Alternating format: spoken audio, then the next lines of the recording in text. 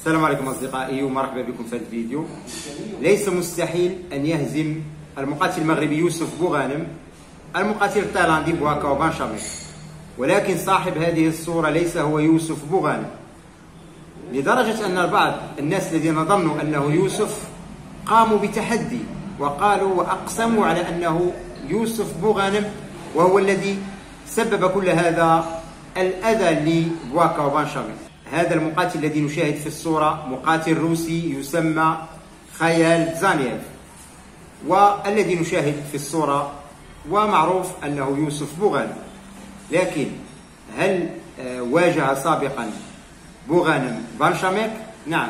ونشاهد كيف كان هذا النزال الأسطوري بين الروسي والتايلاندي ثم بعد ذلك ننتقل لنشاهد كيف خسر بوغانم وفي الحقيقة كانت الإصابة هي السبب ولم يخسر النزال بالضربة القاضية كما يعتقد البعض.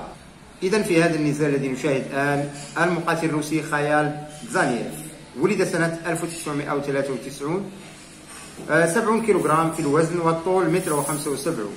وذكر موقع تايلاندي أنه لعب 15 نزال احترافي فقط فاز ب 13 منها نزالين بالضربة القاضية. ولكن لست متأكد من هذا السجل الاحترافي الذي ذكره هذا الموقع التايلاندي.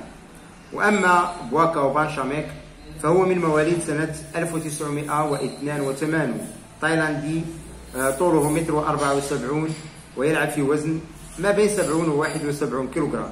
لعب 278 نزال احترافي انتصر في 240 منها 73 بالضربة القاضية. وفي الحقيقة كان هذا النزال أسطوري وهناك في الحقيقة شبه بين المقاتل الروسي ويوسف بوغانم لذلك ظن البعض أنه يوسف بوغانم إلا أن الروسي تألق ويستحق الفوز. I told your brother, no matter what happened, you're always the winner. Wait, wait, wait, wait. أظن أصدقائي أنني بينت لكم وأكدت لكم على أنه ليس بوغان وإنما المقاتل الروسي خيال. إذا ننتقل الآن لنشاهد المواجهة الوحيدة بين التايلاندي بواكا وبانشاميك والمغربي يوسف بوغان. وهذه المواجهة كانت بفرنسا سنة 2011 ولكم التعليق.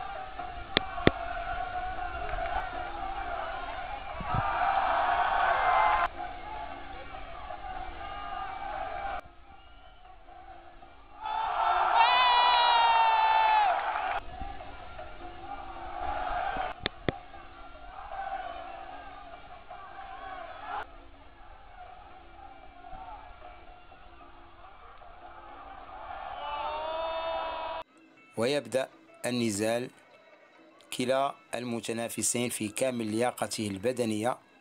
وهنا هجوم كما سنشاهد الآن قوي من يوسف بوغانم هجوم رائع بتقنيات عالية. وكذلك ردة فعل قوية من بواكاو. وأيضا هنا سنلاحظ ضربة قوية من بواكاو بطريقة احترافية. لاحظوا كيف أسقط بوغانم. وبعد قليل سأبين لكم السجل الاحترافي لكل من التايلاندي بواكاو والمغربي بوغانم.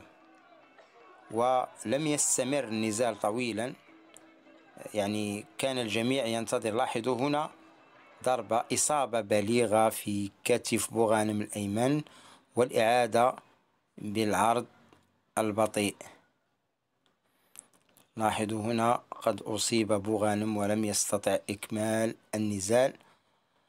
يعني هذا الفوز يعني كنا نتمنى أن يعيد معه النزال مرة أخرى وهذا الفوز في الحقيقة كان بسبب الإصابة. لا ننكر أن بواكاو يمكن أن يفوز بغض النظر عن الإصابة لكن كان هذا هو سبب هزيمة المقاتل المغربي يوسف بوغانم ونتمنى له التوفيق.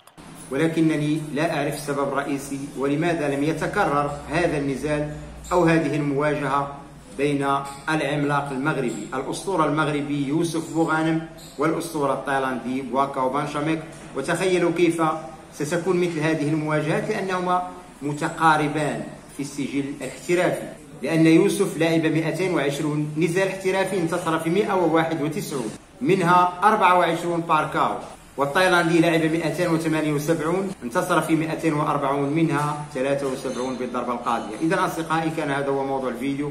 أتمنى أن أكون أوضحته بالشكل الكافي وبينت الفرق بين الروسي والمغربي وهناك في الحقيقة شبه كبير بينهما. لذلك ظن البعض أنه هو وفقط هنا نحن لنبين ونوضح المسائل وأرجو أن لا تنسوا دعمنا ونلتقي إن شاء الله قريبا في فيديو مقبل.